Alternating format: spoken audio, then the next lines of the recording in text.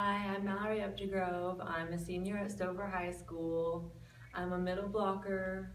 I'm six foot tall. I plan to major in psychology and I play club ball for Midville BBC.